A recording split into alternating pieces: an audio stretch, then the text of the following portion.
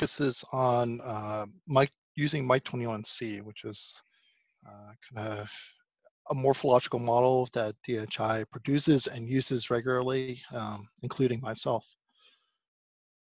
So as an overview of today's webinar, my first primary objective is really to introduce you to 21C and then look at applications to lakes, rivers, and reservoirs. Um, and although I'm introducing Mike 21C, I would say a lot of the elements in Mike 21C is true of all uh, 2D morphological models, um, kind of the general approaches. So first I'll have a little introduction as to what goes into the model, um, how, how it, it um, takes care of looking at hydrodynamics, sediment transport, morphology. And then I've got some example of applications uh, running the gambit from rivers, reservoirs, um, short-term, long-term scenarios. So Mike 21C is, is it's a 2D model for fluvial geomorphology. That's that's kind of the short, short and sweet um, description of 21C. And so you've got you've got your hydrodynamics and you've got your sediment transport. So you're moving sediment around and you're changing the bed and there's feedback into hydrodynamics. And it's been applied in many studies over the past probably 25 years. And, and also over that 25 years it's gone through a lot of model development um, as we've encountered new and different applications. Um, and so the first half will focus on the introducing the model and the second half I'll go through a lot of these examples um, I list below there. So we'll just kind of start our, our general conceptual approach in Mike 21C, and it's the morphological cycle. So on the short term, we start with hydrodynamics, your flow in your rivers, your water in your reservoir, your currents. And so we treat those, we have a grid that sets the model domain of where we're looking at in the model. Uh, we can have structures. We also look at um, secondary flow, specifically helical flow effects, is really, in, in, in all truthfulness, it's a 3D flow um, phenomenon, but we've adopted some methods to treat it in the 2D domain. So the hydrodynamics, they feed into sediment transport. And then that sediment transport feeds into changing the bathymetry through erosion and deposition. And that's all dependent on what kind of substrate you have. We also have some scenarios where we can, in a simplified manner, treat bank erosion or also treat kind of outside influences on the bathymetry. For example, someone goes out and puts in a you know a large structure that raises the general bathymetry up, like a large wheel weir that's smaller than a, a small structure that would just feed the hydrodynamics. So we can have that be dynamic over time then all that bathymetry changes feeds back into hydrodynamics and then you go around again. So that's that's the conceptual way that this model is set up. And I, I in most cases for most morphological models, if not all, the conceptual model for those is this. And the differences really just come down to how you're treating things like graded sediment and your sediment transport and other tweaks for special special scenarios. But this is the kind of the general model for most morphological models. And actually, whether it be 2D or 1D or 3D, is kind of the general general conceptual model for it. So, getting more into details of what makes Mike 21C uh, Mike 21C. First big thing is we use curvilinear grids. And so what that means is instead of a it's a finite difference model, but instead of using basically squares or rectangles and a rectilinear grid, um, we are allowed to kind of smoothly curve our grid so we can fit, let's say, a meander and a bend, and we can have the grid conform to that um, to follow the streamlines more closely. And that um, presents a lot of good opportunities for both saving on how large your model domain, how long your grid size need to be to capture a particular river bend. Um, and also probably treats better um, the natural way that the flow will occur in the river aligned with your grid. Uh, we've spent a lot of time in 21C um, doing a full parallelization of it and also optimizing. And the primary goal of that for our our uses and within DHI and also others' uses is really doing these long-term morphological simulations. So this is an example of, on the left, we have a rectilinear grid, and you can see all these gray areas are wasted cells that, although you're not doing calculations, they still occupy, let's say, data space, and there's still some overhead to dealing with those. Whereas with the curvilinear grid, you're really optimizing your, your grid overlay. So in terms of hydro, so you have your grid, and then the first step is really looking at your hydrodynamics, your flow. And so in hydrodynamics, they can either be fully dynamic, unsteady, uh, you know, having a nice hydrograph go through a flood hydrograph, things like that. Uh, we saw the full set of the Saint-Venant equations uh, for 2D, so it's depth integrated um, with the Saint-Venant. And then there uh, fully dynamic, or there are some options for quasi-steady or scaling the fully dynamic um, for long-term simulations where you have some special steady boundary conditions occurring. Uh, like I said, it's fully parallel. And then in Mike 21C, um, as well as other 2D models that that uh, uh, DHI produces, we, we have a, a Bingham fluid option, uh, which presents kind of a, a simplified approach for, for doing non-Newtonian. There's obviously a large domain of non-Newtonian fluids that aren't matching Bingham fluids, but um, kind of as a first approach, uh, we have a Bingham fluid option in there. Um, one of the things that makes 21C unique in some ways is we have this helical flow from, um, from standard theory, um, which really accounts, and I'll go into it in de detail a little bit later, um, really accounts for the 3D effect of flow going around a bend where you're getting these current, these cylindrical currents, uh, helical currents occurring. And it's really a 3D flow effect, but we try to represent that in 2D using some standard approaches. Uh, we also can uh, use a variety of structures, culverts, weirs, and those are all handled as 1D structures. So you start, you're solving your standard 1D equations uh, for those types of, of uh, smaller structures and it's integrated fully into the model. And it, it's integrated fully into sediment transport and the morphological changes. So you don't have to have some sort of special condition around the structures when you do a morphology model. Um, so these are these are kind of the standard Saint-Venant equations. So you're solving for uh, for momentum and then continuity, and you can see down here under Mike 21C how the your grid can curve. And so generally what we do is we have a cell center depth that we're solving, and then we solve for fluxes, um, fluxes through the through the size of our cells. And I won't go into details on on those um, in today's um, lecture, but it just kind of gives you an example of how, again, you know, our grids can curve. So you can solve these fluxes kind of more aligned with the stream flow, the streamlines than you can with a rectilinear. As I mentioned earlier, we have this helical flow effect. So you can imagine if you're going around a bend, and this is the inner bank and the outer bank, you get these you get these cylindrical flow effects that build up, let's say, deposition on the inside of the bend and erosion on the outside of the bend. And so we try to uh, uh, represent that using standard theory. This is a Radoszewski um, Rodzo Zovsky um, theory, which basically says that kind of the deviation that the flow takes uh, is a function of the flow depth and the curvature, you know, how, how curvature of your of your river bend. And this helical flow feeds into both the hydrodynamics and also the sediment transport for both bed load and suspended load. So we've talked about hydrodynamics. And now I'll move into a review of the sediment transport. So in 21C, which, and also I think this is true of probably most modern 2D, 2D models, uh, we can sediment transport for um, multiple fractions. And we have a special model for cohesive, kind of a standard cohesive model, Krone. Um, and then we have non-cohesive sediment that is treated as, as bed load or suspended load or both.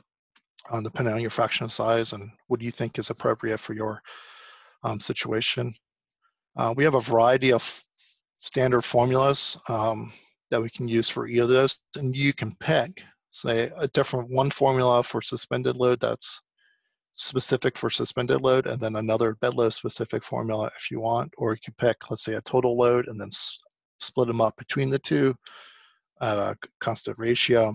Um, there's a variety of ways to approach it.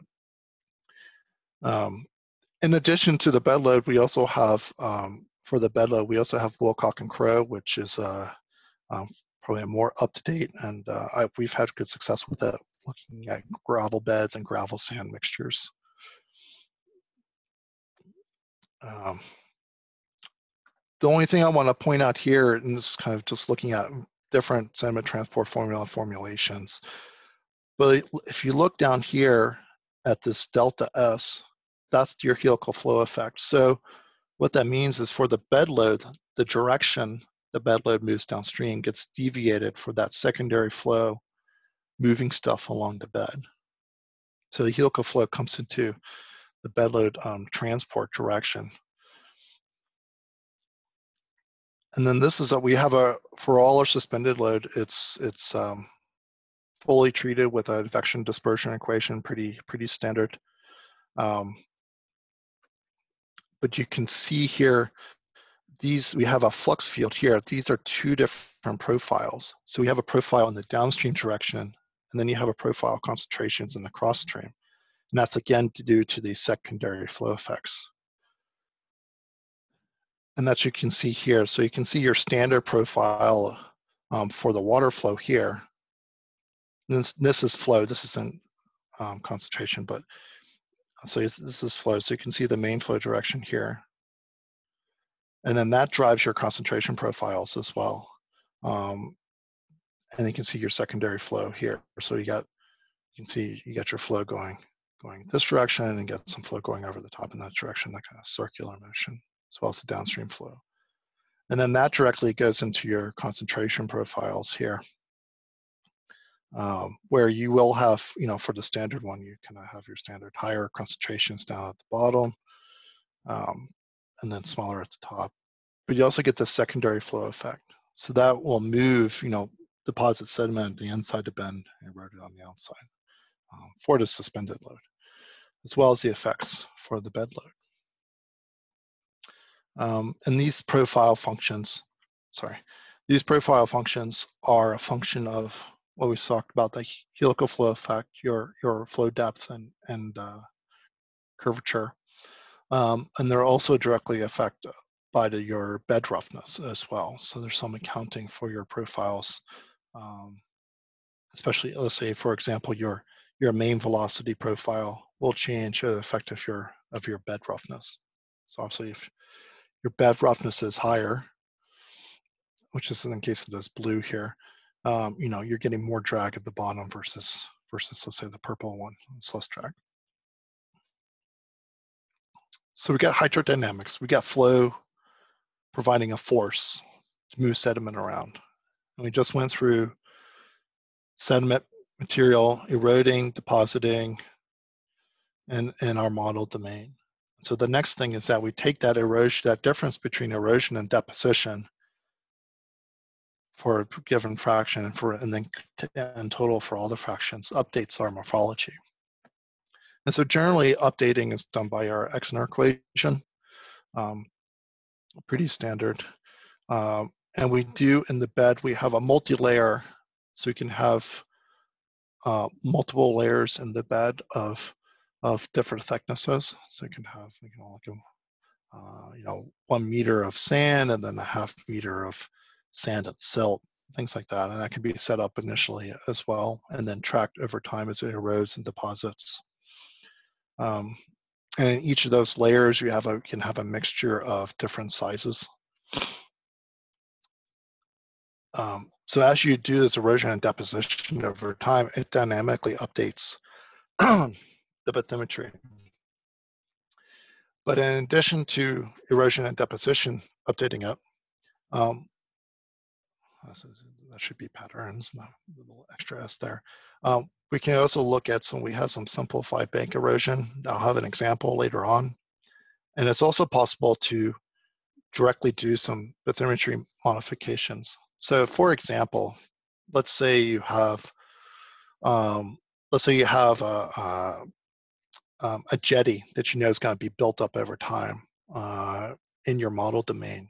And it's about the, you know, about the size or, or larger than your than your model grid resolution, you can actually say within the model to say build these sub cells up over time to such and such elevation. And then you'll get the feedback from that into your hydrodynamics, sediment transport, morphology.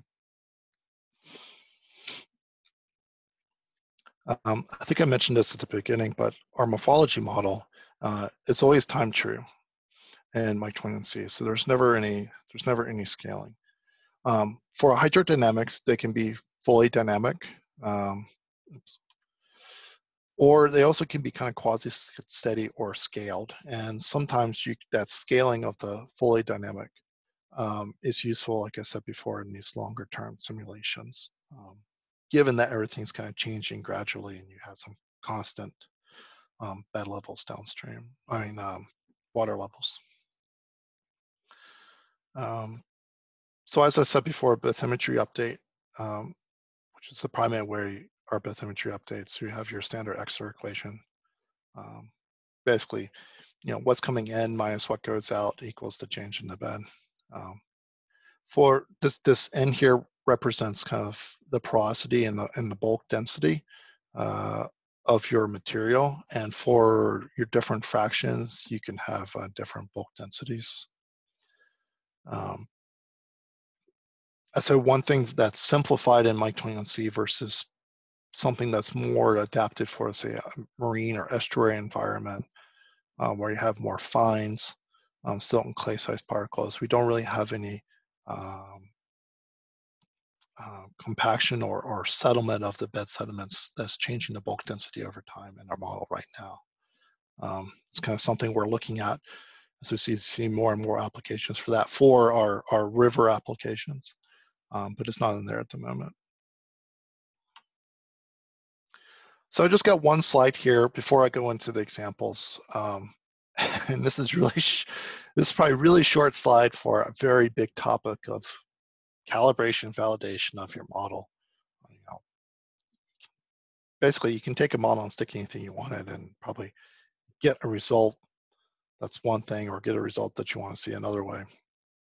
But you know how do you how do you have some scientific validity and and and quantification of the uncertainty in your model and it's really kind of going through some sort of calibration and validation process? Um, and all these things are pretty standard to all morphological models. Um, but i just want to kind of give a mention to it that it's this is kind of important to although you might not be able for a project do everything because especially this morphology data like repeated bed sediment sampling and repeated surveys a lot of times someone's coming to you and asking you a question and they got maybe they got a, a one gauge of water levels and things like that and uh, you know someone took some grab samples one day and that's your concentrated sediment there's no bed load and so there's obviously there's a lot of times in morphology model that there's a lot of um, best estimates based on limited data. But ideally, these are kind of the things that we like to see is hydrographs and flow records, water levels, and perhaps ADCP data for the hydrodynamics. Uh, and I'll get some examples of how we can use ADCP data um, later on in examples. Uh, for sediment transport, a big thing, especially for longer term models, uh, is looking at repeated surveys uh, measuring morphologic change because the great thing about repeated surveys is that they represent integration of all your other boundary conditions that you have. They represent integration of your hydrodynamics, of what your bed load, what your suspended load, what your incoming total load, what grain sizes you have in. So it's a really, it's a really, really useful um, validation calibration point to have is repeated surveys. Um, that also means usually that you, you know, you're looking at a system or someone's looked at the system over a number of years, which may or may not be the case. But those those are really useful. Um, suspended load and bed load measurements also can be useful too. Um, suspended load like concentrations, eh, they can be really noisy, and you really need to differentiate between things wash load of your fines that may just really wash through your system and the suspended load concentration of your sands, uh, which often the you know your your your coarser sands that might be suspended load are usually sitting at the bottom or closer to the bottom um, of the water column. And unfortunately, those are sometimes the hardest areas to sample using standard uh, suspended load sampling methods. Um, we have seen some success with using LISST um, as an approach to looking at suspended load and kind of sussing out grain size and and uh, concentrations, but still there's a lot of noise there. Um, and kind of as a final note, you know, morphological models try to simulate lots of different physical processes. So you have a very complex system where you have a system with a lot of processes that are always interacting with each other. And we're taking those and we're simplifying it first, and then we're trying to develop a model with a limited sampling of all those processes. And so, you know, I think is it's not like a hydrodynamic model where you got, let's say, you have some water levels and you have some flows. And a lot of times, even for 1D, if it's a nice channel, you can have a really good calibration of that model to your to your observations. Um, I would say that is definitely the norm. Is that that is not the same for morphological models. And so, oftentimes, for doing analysis with morphological models, um, you know, the absolute answer might be, you know, a factor or two or more off. Um, let's say for concentrations or something, um, and you're happy with that. But usually, in a kind of analysis look at questions, we're looking at relative changes between the models, um, and that that generates maybe perhaps a little bit less uncertainty and a little bit more certainty as to what might be going on. So I've got some, so that's kind of a, an overview of what goes into Mike 21C. And, and I think in general, 2D uh, morphodynamic models. So I got some examples here, first for hydrodynamics, excuse me, and then some sediment transport and morphology applications. Um, here is a for for hydrodynamics um, looking at ADCP data, um, and this kind of shows why it's, it's, really useful. So this is this is in uh, Cambodia, and you can see where you have complex junction here, where we got two two two incoming flow two flow channels here, and then a you know, bifurcation here as well. So complex complex geometry. And on the left side, we see the ADCP data. And then on the right side, we see our simulated. And you can see we capture pretty well kind of the general trends of where it's higher and lower and diverting and the magnitudes as well. And, and, and this really is, is a consequence of having um, our secondary flow effects uh, in, in the model. But you can see how the ADCP, the, and this was after some calibration of things like bed roughness and some of the some of the parameters that go into the helical flow, um, like eddy viscosity. Um, that really you need usually need to have ADCP data in order to suss out what this proper um, proper value should be. And I've seen plenty of examples where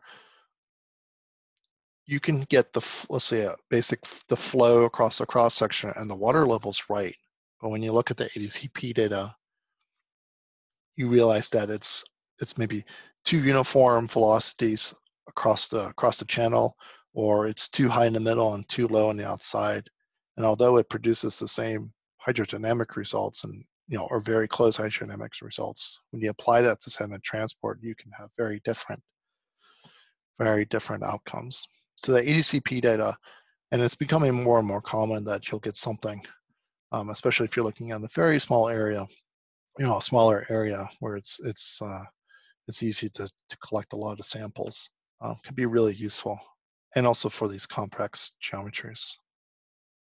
Um, this is just another example on the Snake River in, in Idaho. where you can see here we have, have the main flow channel, but then there's a big eddy over here. And you can see I can, we can kind of, the flow goes here and there's some divergence of the flow around here, produces eddy.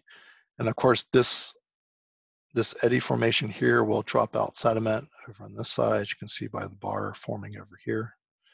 Um, and of course, it's kind of hard to get ADCP data over here, but you know you can you can collect you know collect it where you can. So that's just two quick examples of hydrodynamics, and I think most people, if if they're doing river modeling or lake modeling, um, the first introduction is usually hydrodynamics. So I won't have too many examples from that. But this is looking at, at sediment transport and kind of highlighting some of the secondary flow features and other features um, that we've adapted into 21C and, and their outcomes for these specific projects. So the first one's looking at um, a cohesive sediment lens, and it's really focusing on that eddy, helical flow, secondary flow effects. And so you can see here, this kind of actually is, is kind of a more estuarine um, environment at a port or a, a, a, port scenario. So there's a port here and you get the flow coming in and out.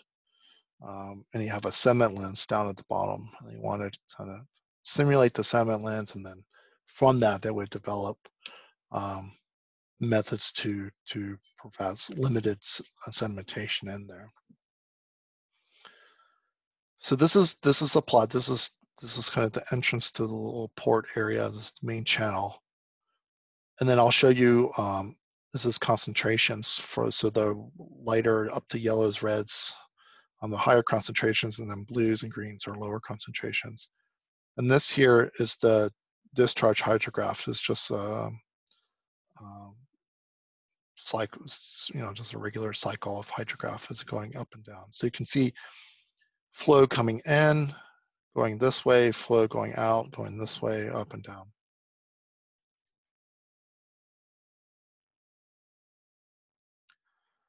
And so that eddy developing there is, is developing, I'll show it again. Those high concentrations there end up producing a sediment lens in that area. And it's really taking those, that secondary flow effects and including those that you're able to get um, that eddy feature uh, replicated in terms of sediment transport. So show it again. Uh, this is a sample for bank erosion. Um, this is the Songwe River in, um, I think that's Malawi. Yeah, Malawi. Um, so this has a kind of a combination of our morphological model. And then we, we do have a, a bank erosion feature that if there are a couple different approaches to bank erosion you can take. But one of them that we've applied is that your grid actually moves um, with the channel moving in time. So it follows the grid will follow the channel through time as the bank erodes. Um, so you can see here, here's the initial channel here. And so you got sediment transport going on in here, a morphologic change. And then we have a bank erosion rate that we've set on the outside um, based on um, other bank uh, measurement of bank erosion.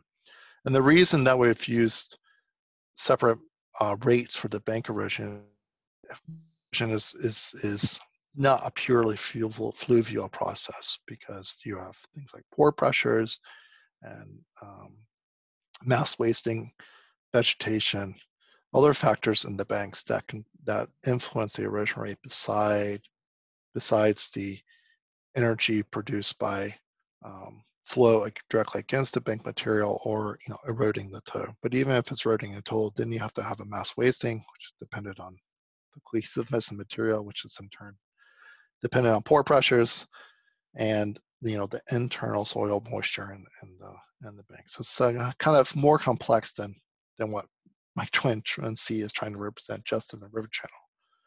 But obviously it moves the channel. Um, so kind of have a, in a simplified way, we can see kind of if we know the rate, what's the influence on the morphology. So let's, let's see if this plays. Yeah.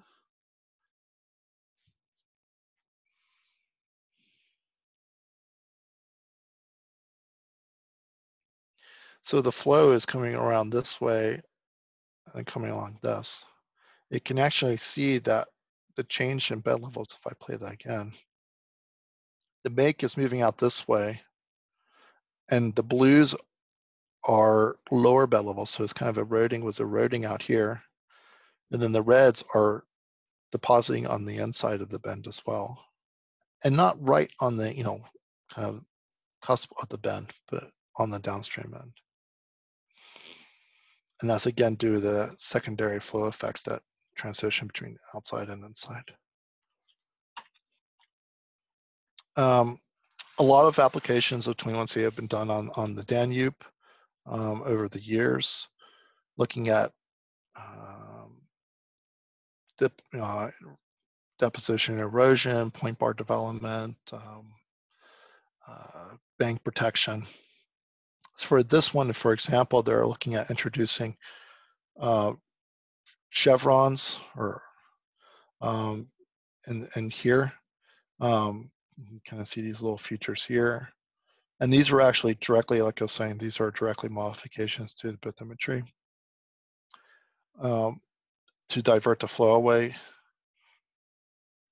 in order to cause um, more flow to stay on the outside of the bend to maintain this channel and keep less of the flow in here.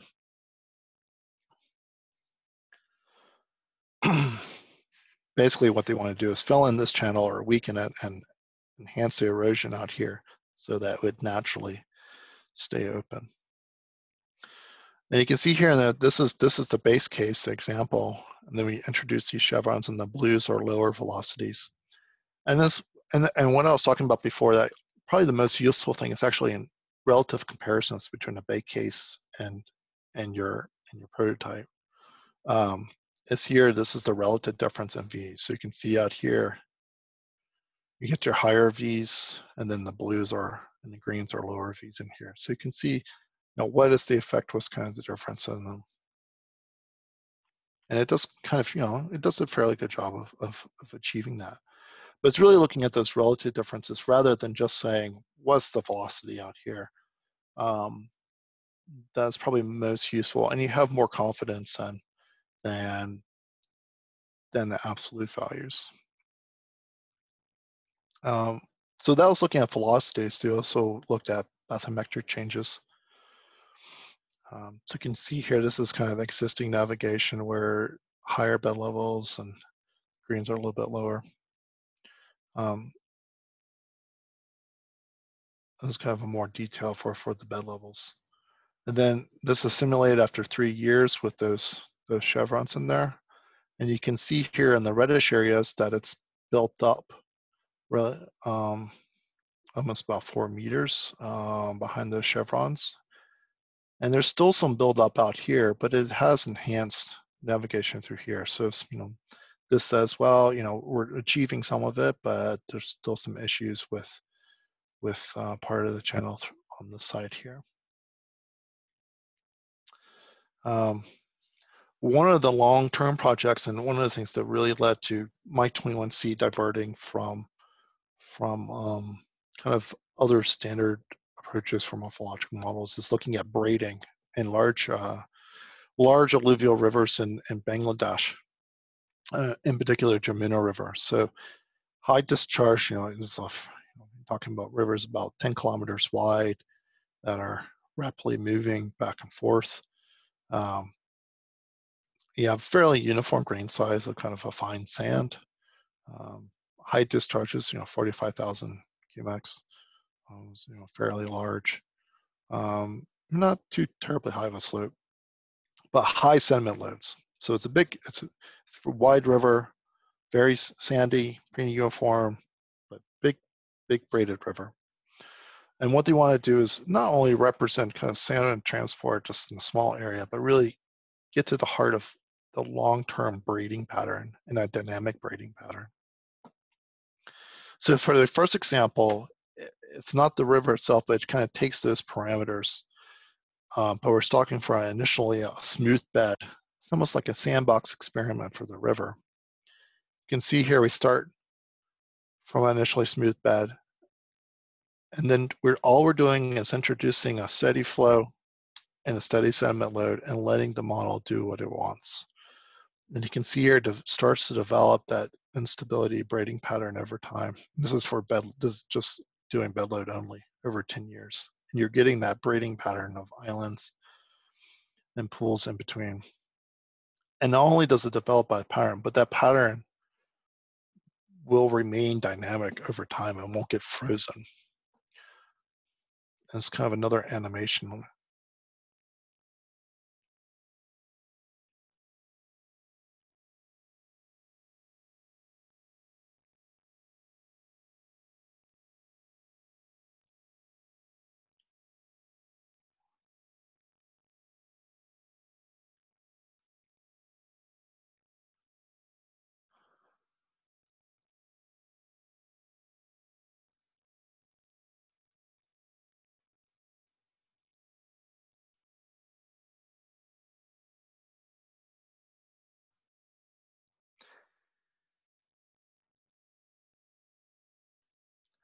So that was my uh, co-worker, Soren Tjerry, who's behind a lot of the model development um, and usage of the model um, of Mike 21C. Um, he was based in the US and, and is now based in, in uh, Denmark. Um, but he spent a lot of time uh, working in Bangladesh on this particular river. So it's kind of an example of looking at that braiding pattern over time and then looking at examples for the particular river and then looking at um, Landsat variation over time. And you can see kind of how it remains dynamic and you have smaller islands and larger islands developing over time. Because of, you know, in some 2D morphological models that you you can you can get a braided pattern to develop from a from a plain bed, um, the initial state, but it tends to become um, frozen in time. So once you've once you've kind of eroded those channels and built up those islands, there's not a dynamic in the model that will introduce introduce some noise, even to yeah maybe to say some noise to move that stuff around. Um, and in, in 21C, we have both the helical flow effects to introduce the, the 3D flow effects to move stuff around um, like in the outside of a meander. We also have what we call um, char erosion, um, which is it's a, is a way to um, modify that secondary erosion um, rate as well, to introduce that little bit of noise um, in the system. And this is just kind of another example looking at the length scale of those, that braiding pattern developing in the plain bed over time and how it is fairly comparable to what we saw see from the Landsat.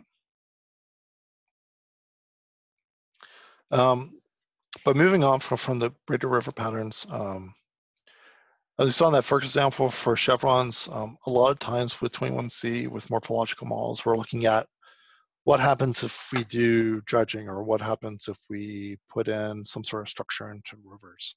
Um, I think that's a lot of the, in my experience, a lot of the applications have been have been along those lines, um, supporting engineering. And so for this example, we have uh, morphological modeling of groins in a particular area. So we have these structures out here, and they wanted to see in order, and these were developed to protect the banks. And they wanted to see, well, does it do it? Does it introduce other problems? So on and so forth. And you can see here, um, you know, with the curvilinear grid, you can really match along those channels. And although it doesn't show it here, there actually are kind of some, there's some messy grid in here, but because we treat this as um, no flow area, nothing happens in here. Um, you know, it's kind of irrelevant to show it.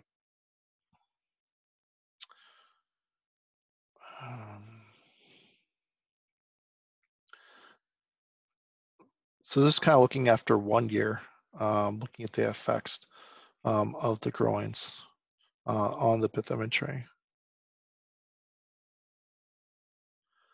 So on the right, you can see red is where it's depositing and blue is where it's eroding. So you can see that the groins, yeah, they kind of help to protect the sides, but they really, because you're um, compressing the flow down through here, um, it's creating erosion that's resulting in deposition of that eroded material um, nearby downstream where it um, diverges.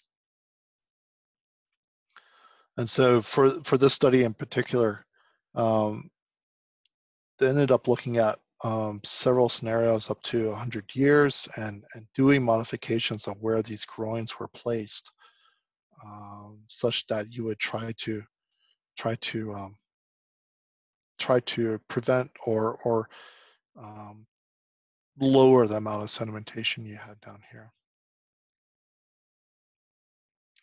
Uh, this is an ongoing project um, in in the U.S. in Idaho, um, which has both some some complex morphology, but it, for this one, I, I, think one of the more complex part of it is actually the hydrodynamics. Uh, what you have is a main river channel here, um, but then you have lots, all these little blue areas here. This is looking at the bathymetry are uh, marshes or, or small shallow lakes. And they're connected to the channel through little tie channels uh, through the natural dikes. Um, so there's a lot of complex hydraulics and, and one of the challenges we had was we had water levels, we had pretty good data for water levels in the channel and water levels in the lakes. And to get the exchange over the hydrographs with the lakes and the channels um, to occur correctly in time, uh, was quite challenging. For this project in particular, uh, one of the objectives was looking at lead contamination in the sediment. So the lead's attached to sediment in the bed, um, legacy for, from mining upstream in the 18 to early 1900s. Uh, and this is a Superfund site. So what they wanted to do is we're developing the morphologic model to say, in order to address questions of, let's say we dredge here, or let's say we cap it, or do this or that If we make these changes in the bed, what's the consequence for the lead that's in the bed in the substrate? Where does it go? Um, is the concentration getting higher? Is preferentially depositing, depositing in these side marshes, which are important for birds uh, migrating through the area. And so the lead is actually something interesting. We've we've looked at lead and and other projects. We've looked at lead and pyrite. Um, so we treat them as size fractions, but because we, we can modify, we can modify and customize the fall velocities, grain sizes, and um, uh, specific gravities, we can kind of treat those in the sediment transport space. If we can treat them as fractions, is obviously we're not looking at a, more of a water quality where you have dissolved solids. Um, but we can track those um, that you know this lead contaminate those lead sediments and pyrite sediments through time and look at concentrations in the bed and because we have multiple layers look at different levels in the bed uh, over time and this kind of some grid detail where we have kind of a fine grid we can do this with the curvilinear grid a fine grid um, in the river channel and then of course a grid out in the uh, um, the pond areas um, you can kind of see here we have this this tie channel. So this is connecting to this pond out here. This is the main channel, and then we have a one series of cells here connecting to the channel out there. And actually, in this case, for this project, we developed um, a routine where the flow through these cells here is actually treated as a 1D structure. So we can kind of refine the flow um, simulation through those that you wouldn't necessarily get if it was just one cell wide and that's because uh, if you had, you know, let's say 10 cells across here for that small channel, your grid size would be impossibly small for running this in, in some sort of reasonable amount of time. Um, so that's kind of an example of river applications, uh, sediment transport morphology. In this example, we're looking at, um, we're actually looking at a, a reservoir. Um, and some of the other applications have been in reservoirs uh, looking at sediment management and reservoirs um, over over longer periods of time. So in this one, we're we're looking at uh, about 40 years, uh, similarly, and and for this particular project, we looked at flushing options uh, for the reservoir.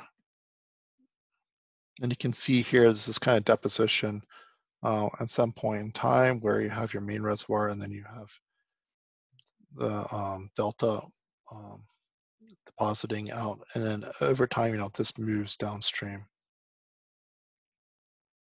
So it's kind of a simulation of that deposition without any um, flushing.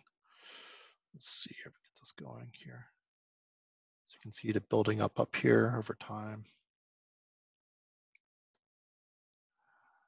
It fills in a bit. And this is the kind of the depth of deposition.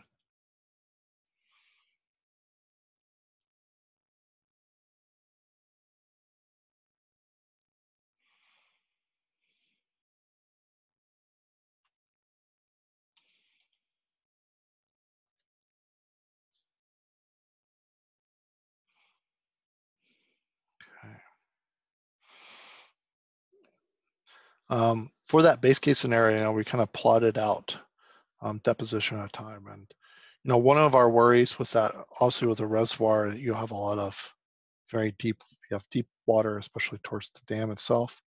Um, so there's probably, there's a lot of 3D effects just in terms of depositing sediment out of the uh, profile. So we weren't sure, you know, are we going to capture uh, for this scenario, you know, where we're going to capture how the toe progresses downstream. And you kind of see that that delta moving downstream.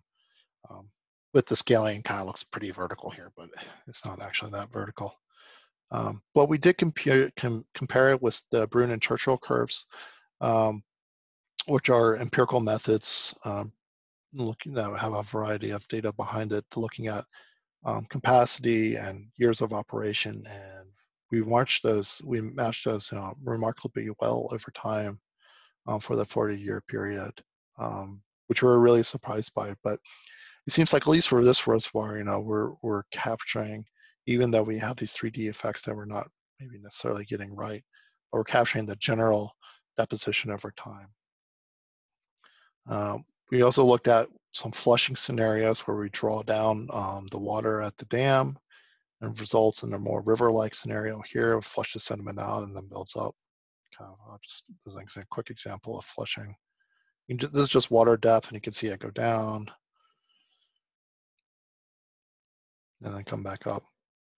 And so that's just one year, but we can do that. We can run a scenario where we're doing that, let's say one time every year, and looked at timing and things like that. So, so that's kind of an example from and you can see here the results from that flushing resulted in um, erosion of that of that delta, and also you're keeping more of your volume over time. You're matching your sediment. And a lot of times it's all looking at those relative differences um, as well that gives you some more confidence uh, in your results. Um, as your last example here, I just want to bring in something for from the Bingham world uh, for non-Newtonian flow. Um, so there's, and oftentimes we've used this um, of late as for, for dam breaches, uh, where perhaps you have mine tailings, um, where they have some non-Newtonian characteristics. So there's the dam up here and there's an opening. And then I have overlaid a couple different Bingham fluids um, with increasing um, increasing uh, yield strengths. Um, so thicker, thicker material.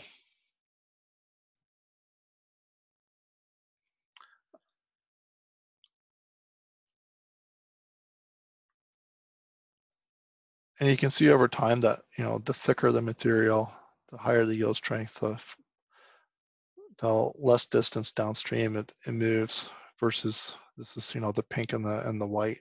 The the um and the blue is is water, and then you know with just 10 for this particular scenario, just 10 pascals for the yield strength is pretty much like water. So this has been useful in looking at, um, you know, floods and using in flood studies from from dam breaches, um, particularly for for tailings dams, uh, where you do have that kind of slurry more than a water dam, which usually it's it's mostly water behind it. So thank you for uh, this kind of brief brief overview of very brief of of Mike 21C and kind of sediment transport modeling, morphology modeling, 2D in general, and then some of the applications for rivers and reservoirs, lakes, and, and dam breaches. And I would entertain any questions now if you have them. Great, thanks, Ian.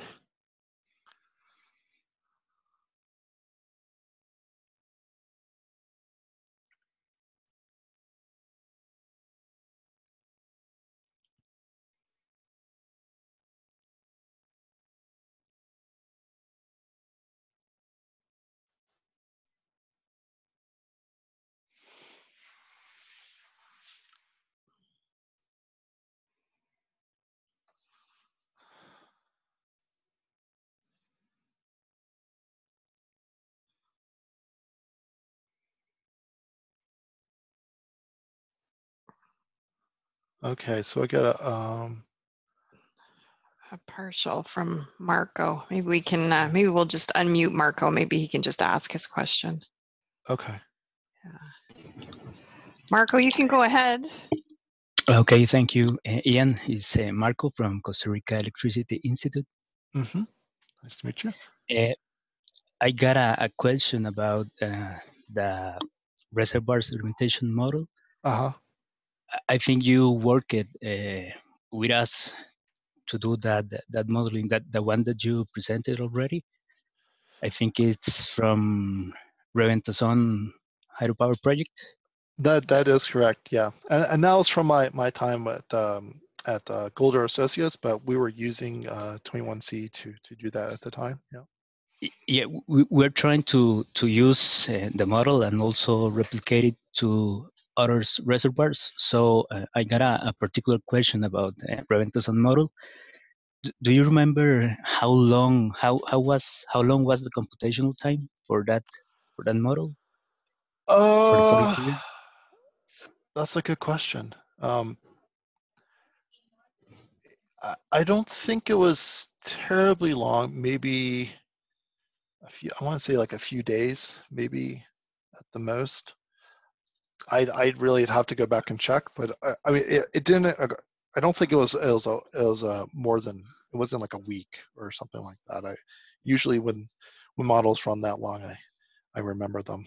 Um, but I think it was only maybe a, a few days at the most, and and that was a several. That was a couple years ago. Um, I guess more than five years ago. Yeah, yeah. Um, so I I would say we've seen great increases in speed, um, even without improving necessarily how the model's been parallel. We made some tweaks since since the I think that version, Mike 21C might have been that might have been 2012, and we're into 2019 at the moment. Um, but more increases in, in computing power um, have really improved run times. So. Um, yeah, I, I, I think at that time it was probably maybe a maybe a day or so. At, at the time, uh, I'd have to re- I'd have to go back and, and check my notes. But um, Okay, okay, but for example, for for today's capacities of the solver, how much computational time do do we need to run a 40-year simulation of, of reservoir sedimentation in Mike 21C? um, Uh, and one uh, and what uh, what are the computational requirements for that simulation to get Uh, reasonable times? Yeah, yeah. Um, I think Joe, we've tested most of our time that we run. Uh, we're using uh, kind of Xeon class processors um, from Intel, and we're running usually with minimum 16 cores. Um, probably more often we're running 18, 28, 24. Um, there's some, depending on how your model's set up and how many fractions you have, it will change whether if you add more cores, if you get uh, if you get better results, kind of the way the model's been been parallelized. Um, but in general, that's, th- those are the kind of machines we're running. And yeah, I have one simulation. It's probably it's about 50 kilometers long. Well, actually, it's longer, bigger than that. Um, it's 50 kilometers long of river, and then we have estuaries, offshore area. We got 17 fractions. Grid sizing is about 100 meters.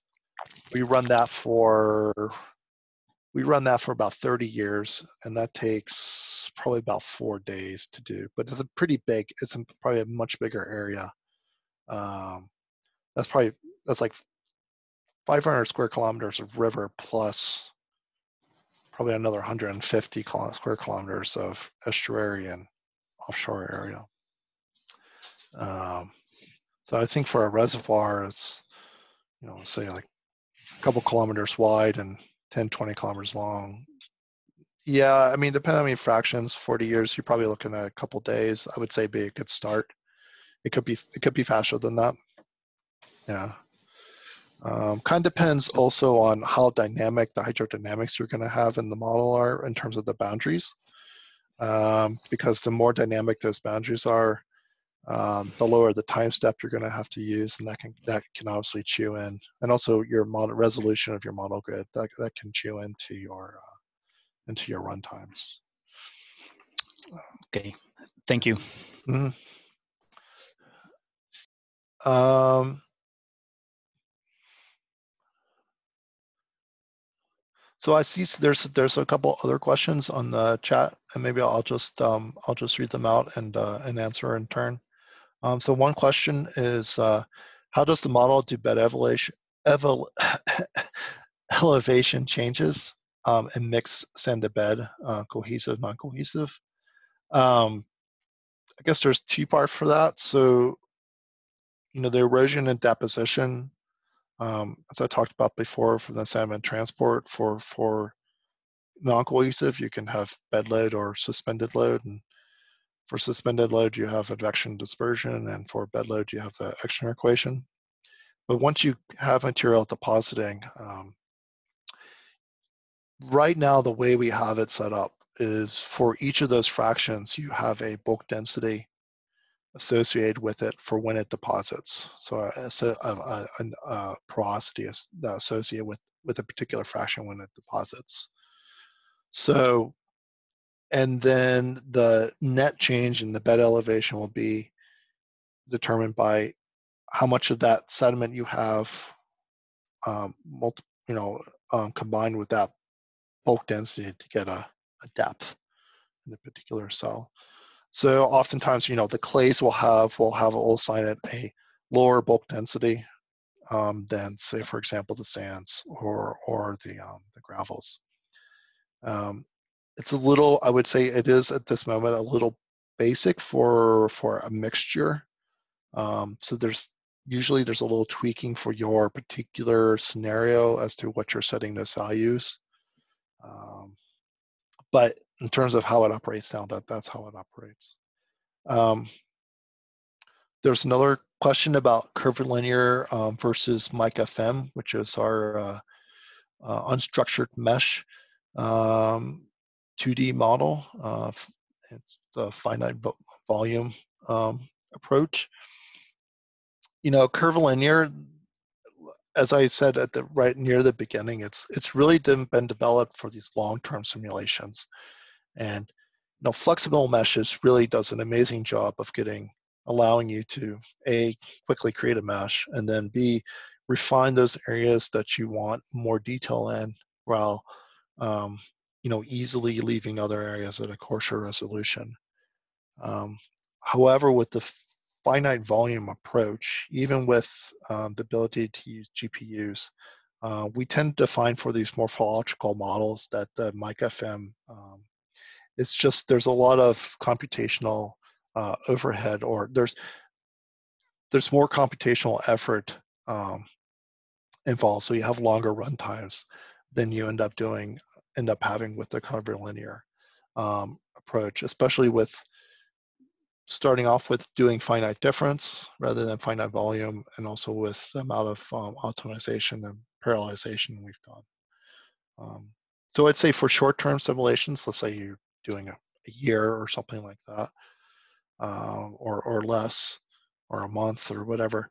You know, MikeFM is is is fine for that. Is good for that, um, as well as curvilinear. Either one. Um, there's probably the helical flow approach. Um, sediment sediment transport stuff is is probably its only and curvilinear, but I would say for general applications, you know, MikeFM could definitely be applied for that. But if you're looking at the longer, longer periods, let's say decades, 100 years, something like that, um, you'll just be sitting around a year waiting for the MikeFM model to finish, unless it's a pretty coarse resolution. Whereas the curvilinear is definitely more adapted for running those length of periods um, in an efficient manner. Um, oh yeah, and then the third question I had was, um, are there any curvilinear sediment transport features um, that are not available in FM versions? Um, probably one thing is probably that this helical flow effect is slightly different um, or is, is not present in the, in the FM versions. I mean, it has it has 2D flow, but we have a particular approach for helical flow for um, around bends. Um, for braided rivers, and maybe that's not as applicable for, for say like a reservoir or something. And definitely for braided rivers, we have a special module, special special things to to treat that char module I was talking about. And char is just Bangladeshi for um, for the little islands um, that form in the braided river system. Um, that's peculiar to Mike 21C. It's it's not an FM, but you know, for for a reservoir, that's probably not as not as important. Um, and then there's there's another question um, about. Uh, well, I one other thing for for the for um, MikeFM versus um, Mike 21C, uh, we the two models treat uh, the multi layers approach a little bit differently. Um, I think MikeFM coming from the estuarine environment, it does have some, um, it has some approaches in there for, for dealing with um, um, settlement of fines in the bed and the changing bulk density over time. Um, that we're developing in Mike 21C, but isn't in there. On the other hand, Mike 21C, I think, does a much better job of tracking changes in the bed um, and changing in the sediment in the gradations of different layers in the bed than perhaps uh, than than MikeFM does. Um, there's the last question: if there's a 3D 3D version of for the curvilinear platform. Um, yeah, Mike 3 um, uses basically an unstructured mesh, and, and that's our 3D model. Um, unfortunately, there's there's not a 3D version of Mike 21C. Although for for rivers, um, you know, we we have the helical flow effects, which are trying to represent that 3D flow effect on, in the 2D system. And actually, for the um, for that Coeur d'Alene model I said, that I showed, where we had the marshes and the rivers and they're act, acting between each other. Um, we're working in, internally are developing some um, some more extensive 3D representations in a 2D world um, in 21C beyond that standard approach um, that we showed that I showed you earlier. But there's not a full 3D version. Um, so, and and for example, I'm I'm working. We're developing uh, uh, a scope for um, a, another reservoir, um, not as deep as as Zone. It's probably only 25 meters. But for that one, they're they're trying to retain sediment um, behind this dam and so we're going to apply 21C for the long-term simulations, but then we're going to use Mike 3 and look on kind of like a monthly monthly time span or a six-month time span, and to verify that the way we're representing the settlement of the fines, um, we're going to use Mike 3 to look at the settlement of the fines um, behind the dam in these deeper waters, just to in a, in a way calibrate or validate what we're getting in the Mike 21C model. And probably we'll, we'll do the initial Mike 21C, do the Mike 3, and then go back and change the parameters in 21C so that we better match what the 3D model is showing us. Because that's probably a, that's a truer representation of all the physical processes in that deep water um, going on. So I think those was the, all the questions that uh, I saw today.